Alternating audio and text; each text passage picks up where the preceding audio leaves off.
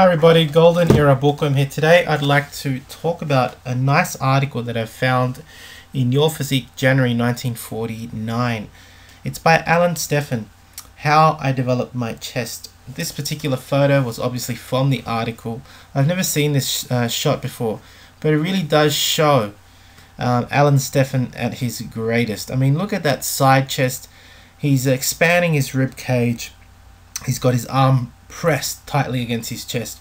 Pectorals are bursting out. Look at that biceps like a softball underneath his skin. It's about to explode. He looks amazing, and this is the kind of physique that I really love to talk about. Let's get a look into Alan's uh, article on chest.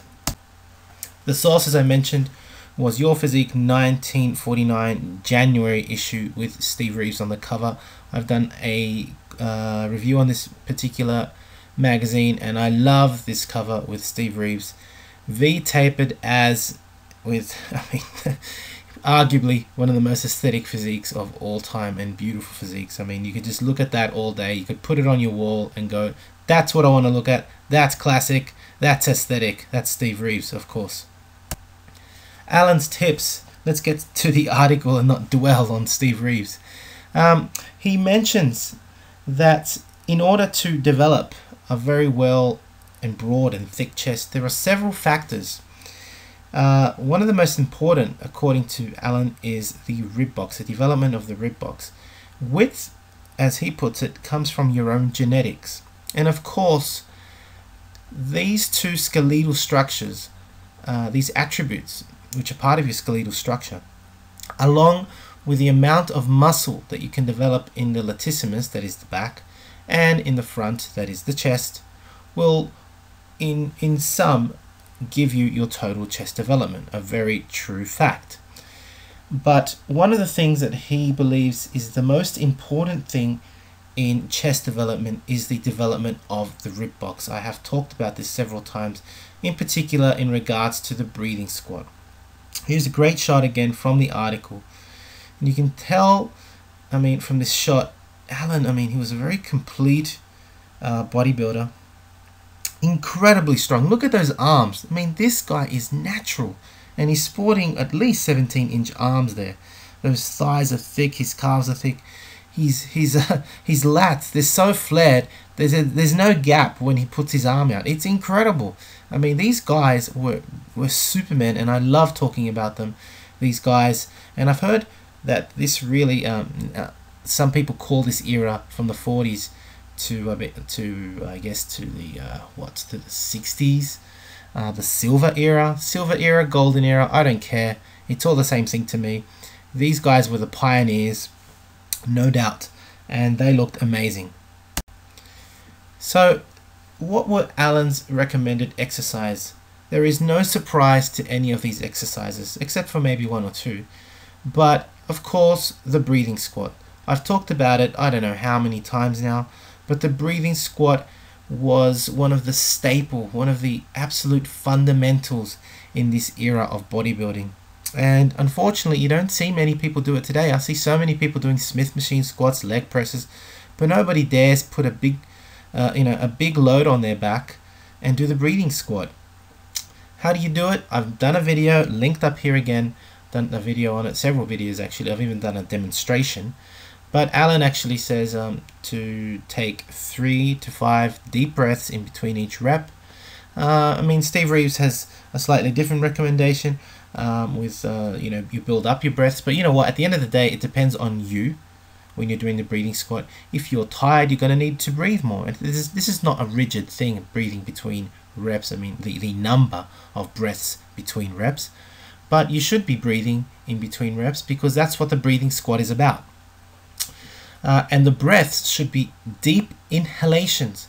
This action actually stretches the rib box, and this is what the breathing squat is good for. Of course, the squatting action will build your legs and causes increase in testosterone and growth hormone and, and make you hungry as hell, but the breathing pattern stretches the rib box. It, it, it, expands your lungs and, and increases your cardiovascular capacity.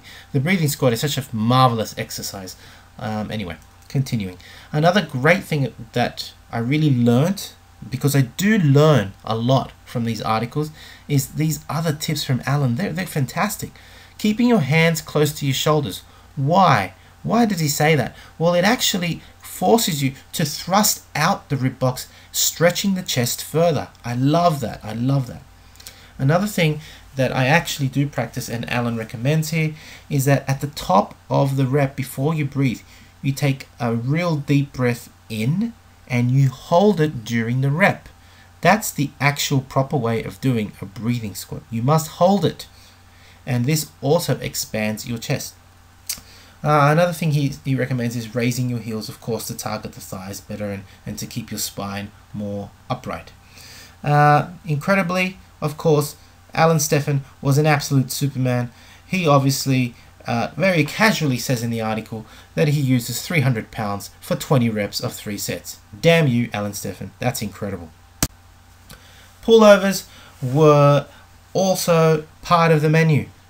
Uh, in between squats, actually, he would say, just like Steve Reeves and many others, that you should do your pullovers in between squats uh, placing your back on a rounded surface. You can see he's actually got a medicine ball on the uh, on the um, bench.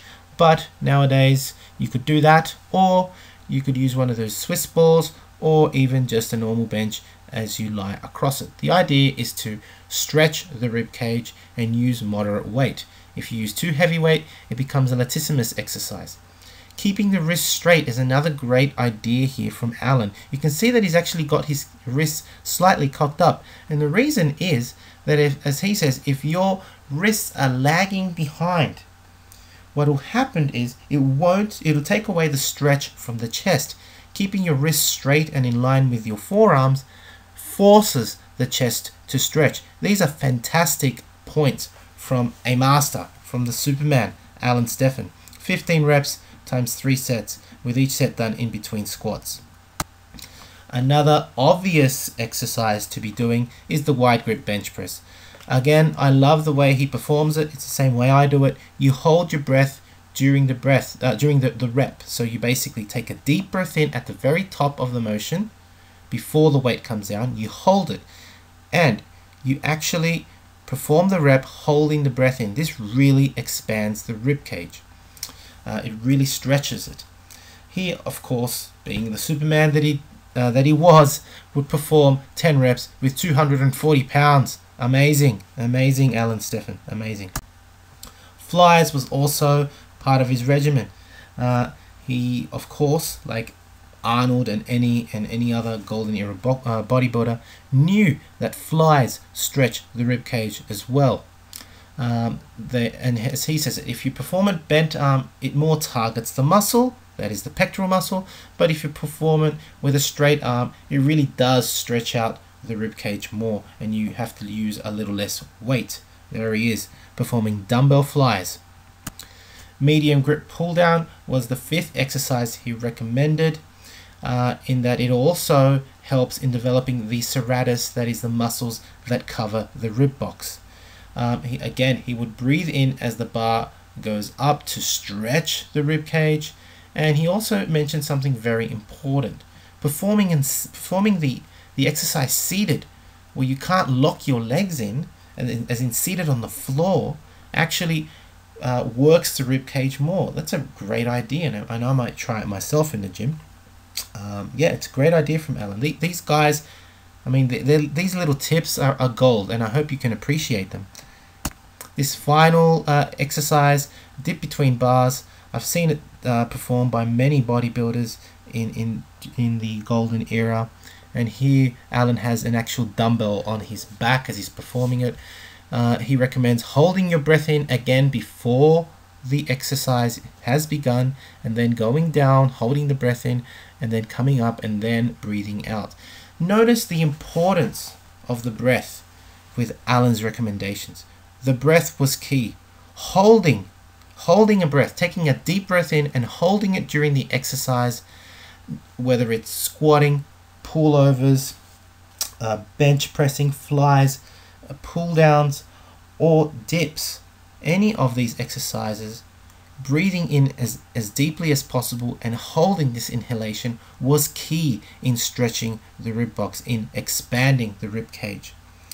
a final note from Alan is that he actually mentions some, some wonderful advice to take a deep breath every day, any moment, because it's good for your internal organs.